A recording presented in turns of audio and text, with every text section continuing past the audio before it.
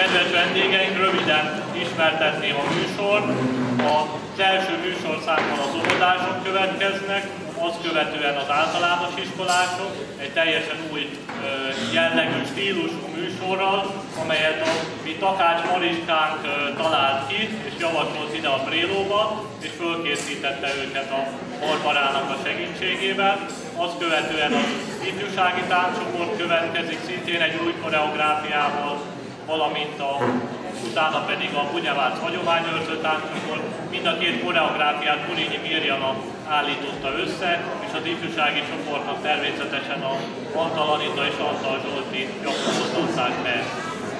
Mindenkinek jó szórakozást kívánunk a műsorhoz.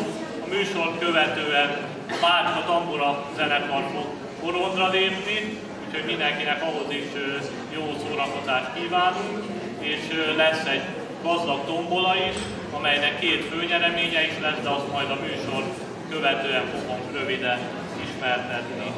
Mindenkinek jó szórakozást kívánok, és fogadják őket sok-sok